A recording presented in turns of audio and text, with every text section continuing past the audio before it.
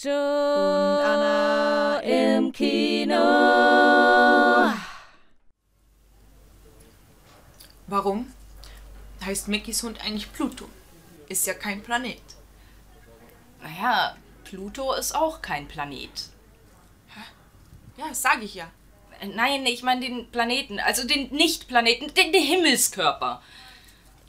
Also heißt er Pluto, weil er kein Planet ist. Ja, wahrscheinlich. Obwohl er schon vor dem Planeten kein Planet war. Ah. Okay.